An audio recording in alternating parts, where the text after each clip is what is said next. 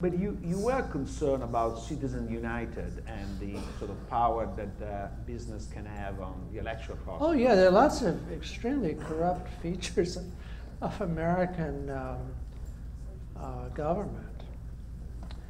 Um, you know, if you become a, a member of the um, member of Congress, you'll get a card from the head of, of your, your party which will say, I think this may just be for the representatives rather than the senators. It says, you will spend five hours an afternoon talking to uh, donors. Now that's not the only date, that's not the only time you spend with donors, because you know they'll take you to dinner and you know cocktails. You'll spend the evening with them too. But this five hours is very important when you when you talk to them.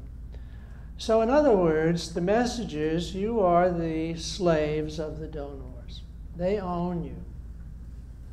And you don't play ball with them, you're not going to be uh, renominated. so that's real corruption, the ownership of the Congress by the rich. that I find troublesome. But that seems to me remote from antitrust concerns.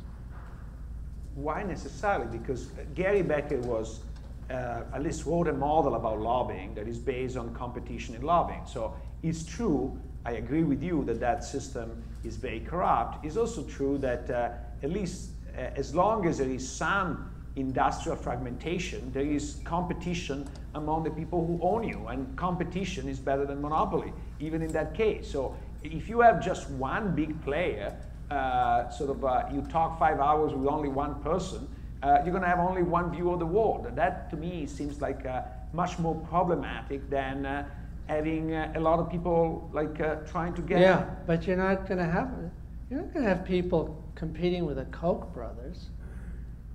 They have too much money. They have billions. They own. they own a great many Republican officials.